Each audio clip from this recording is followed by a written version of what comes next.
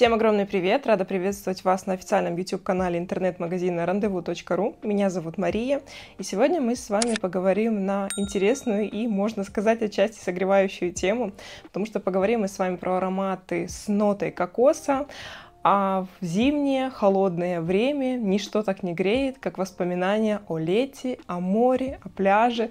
Поэтому я думаю, что даже зимой эта тематика очень актуальна. Да, понятно, что чаще всего а, тематику кокоса. Чаще всего раскрывают именно в летнее время, потому что это отпуск, это море, это пляж, это как-то очень а, сочетаемо именно с таким периодом, но зимой, в холодные зимние дни, когда уже хочется вот этого свежего глотка, этого теплого солнышка моря, а, я, допустим, лично очень часто использую такие красивые пляжные, в том числе кокосовые ароматы. И сегодня я вам расскажу о подборке своих самых любимых ароматов на такую тематику, о тех ароматах, которые действительно являются композициями с доминирующей нотой кокоса. Это не просто нота, заявленная в пирамиде, а действительно аромат, в котором на 100% этот компонент ощущается.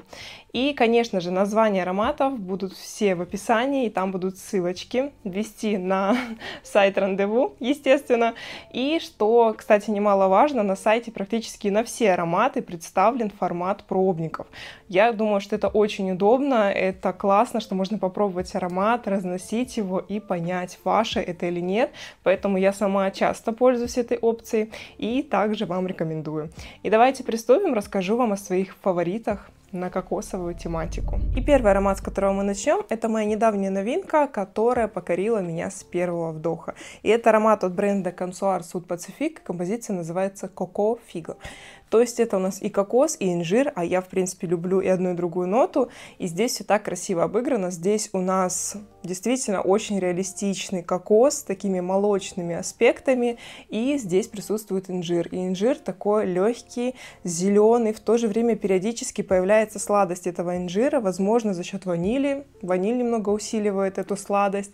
Также здесь присутствует нота пшеницы. Действительно, есть ощущение какой-то злаковости в композиции, но в основном для меня это, конечно же, красивый кокос во всех своих ипостасиях в сочетании с красивым зелено-сладким инжиром.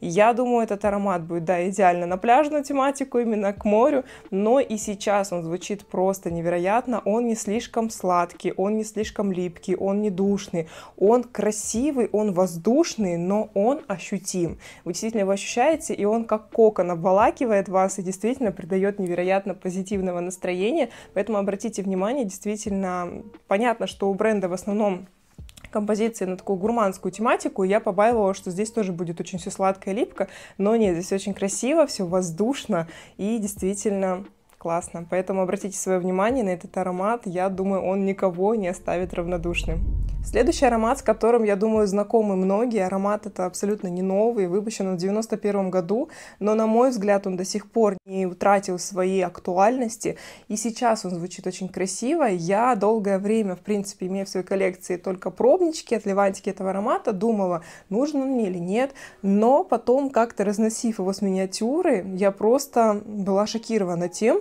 насколько все-таки, при учете того, что аромат выпущен довольно давно, он сейчас попадает в моду на парфюмерии, можно сказать так, и сейчас он звучит вполне актуально, и вообще абсолютно не скажешь, что аромат имеет уже такую историю. А здесь у нас, конечно же, в духе пирамид того времени, огромнейшая пирамида, там присутствуют у нас и различные фрукты, и ананас, и грейпфрут, также здесь присутствует и персик, и слива, но все-таки со старта вы ощущаете ту самую нашу сегодня заявленную ноту в тематике а, кокоса. И здесь интересно сочетается кокос, он тоже красив, он реалистичен, но он уже звучит абсолютно иначе, не так, как в предыдущем аромате. Здесь он со старта с такими явно выраженными морскими солоноватыми нотами, а также немного сандала.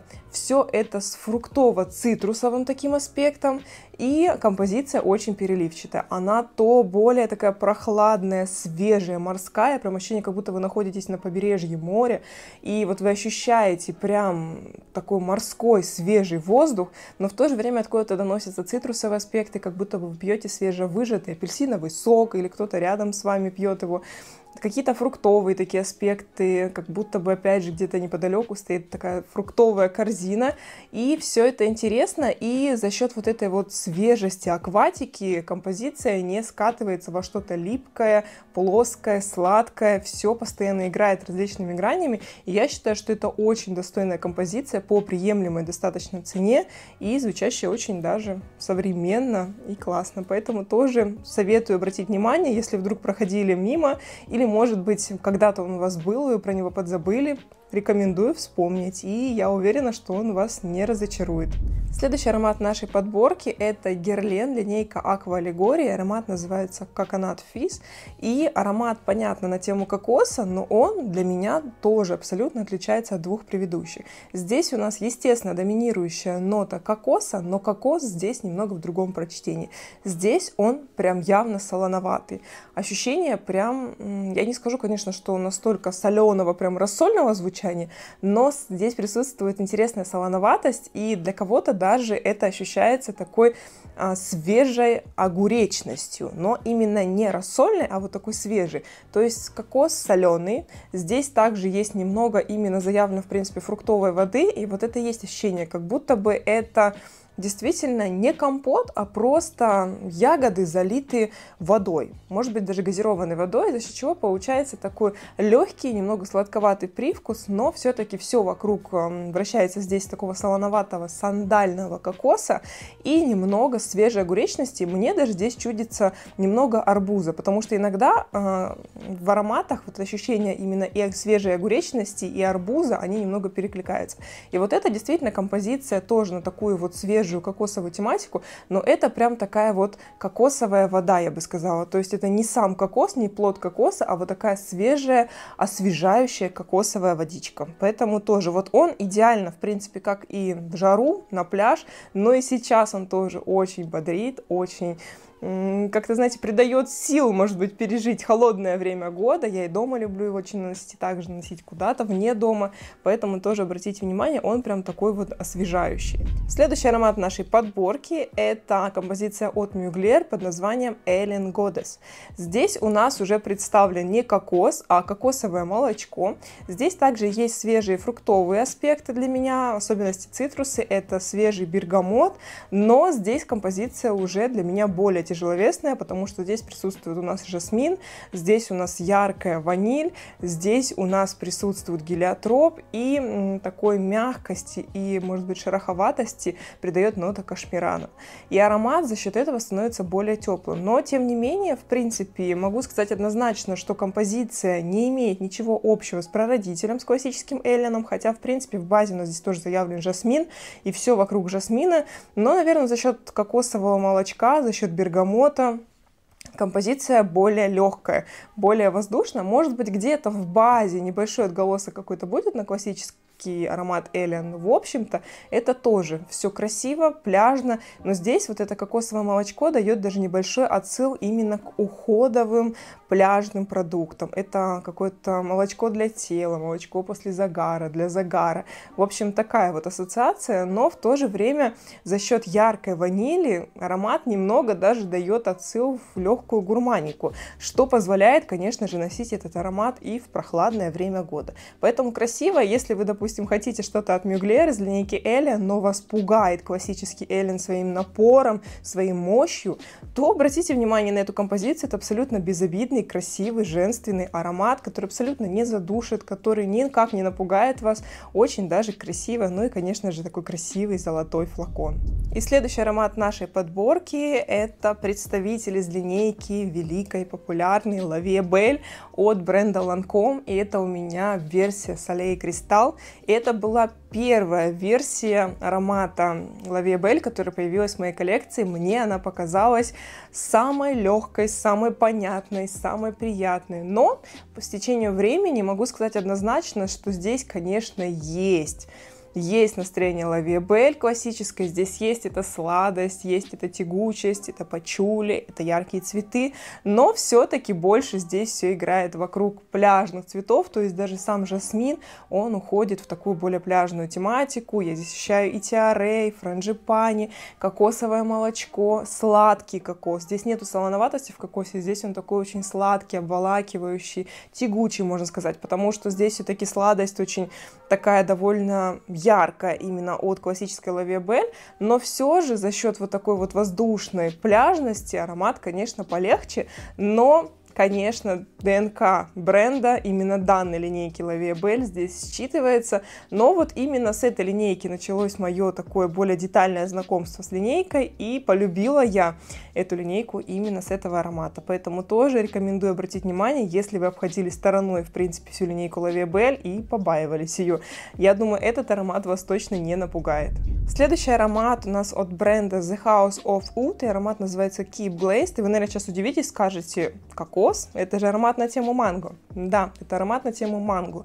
Все-таки главенствующая нота здесь манго, но она в сочетании со сливочностью, с взбитыми сливками и кокосом.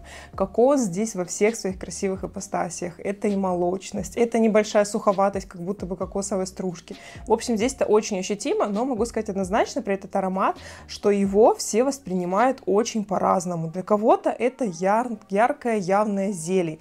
И здесь даже присутствует, в принципе, в пирамиде лист клубники, и, возможно, вот эта вот зелень самого листа дает многим ощущение вот такой прям травянистой зелени в своем звучании в самом. Кто-то даже здесь не слышит мангу совершенно, но это, в принципе, естественно, все мы ароматы ощущаем по-разному. Но кокос вы здесь однозначно услышите. Это красивая, фруктовая, сочная композиция, с классным таким оттенением именно в сторону кокоса и взбитых сливок. Очень ярко, красиво, шлейфово. Однозначно мой фаворит от бренда. Следующий аромат у нас от бренда Александр Джей. Аромат называется Зефир Ут Ваниль. И всегда это название меня очень привлекало до того, как я познакомилась с этим ароматом. Зефир, ваниль, но смущало название Ут. Но когда я познакомилась с ароматом, я поняла, что, по крайней мере, для меня здесь абсолютно нет ничего удового. Здесь действительно очень красивая ваниль, но, возможно, уд здесь звучит а, именно в древесную тему. Здесь нету какого-то грязного, восточного, отталкивающего уда. Здесь больше ваниль, кокос, очень красивый молочный кокос, смешанный с ванилью. И все это на такой мягкой, нежной древесной подложки. Поэтому, если вас название пугает слово «ут», то не бойтесь. Все-таки ут здесь больше отвечает за такую красивую, вычищенную древесину. Но, понятно, кокос здесь ощутим, и он смешивается с нотой ванили, за счет чего кокос получается очень сладкий, молочный, такой ванильно-сливочный. Звучит красиво, тоже очень шлейфовый, красивый, согревающий и, для мой взгляд, очень универсальный. Как и на тепло, так и на холод будет звучать универсально и очень переливчато. Следующий аромат это терракота от бренда Guerlain. И здесь именно кокос в своем таком классическом, ярком, пляжном исполнении, но с красивыми белыми цветами. Здесь очень яркий, громкий жасмин.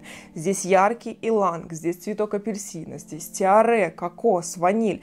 И вот эта композиция именно представитель такой вот классической, в своем прочтении пляжной а, тематики, но довольно плотной. Я могу сказать однозначно, что лично для меня Именно в прохладу он мне дарит ощущение вот этого тепла, лета, отдыха, но именно летом мне его носить довольно сложно, потому что в горячий период, ну, имею в виду в горячую такую вот жаркую погоду, он очень сильно разогревается на моей коже и просто обжигает своей плотностью, своей яркостью.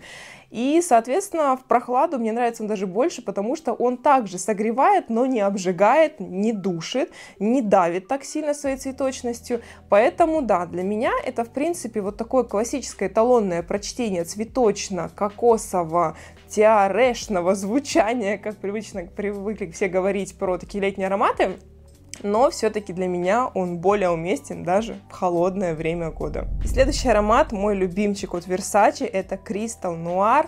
И это для меня эталонный аромат на тему такого солоноватого кокоса.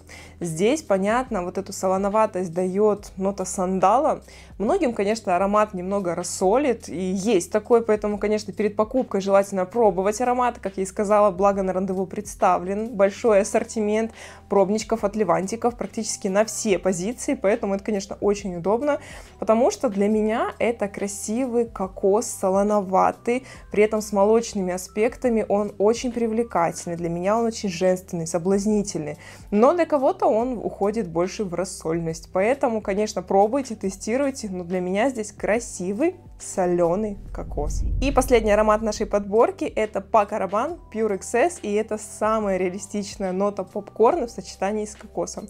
Это ощущение, как будто бы вы кушаете попкорн с кокосовой отдушка, можно сказать так. Может быть, это даже какой-то солоноватый попкорн, соленый попкорн, но при этом полит сиропом кокосовым.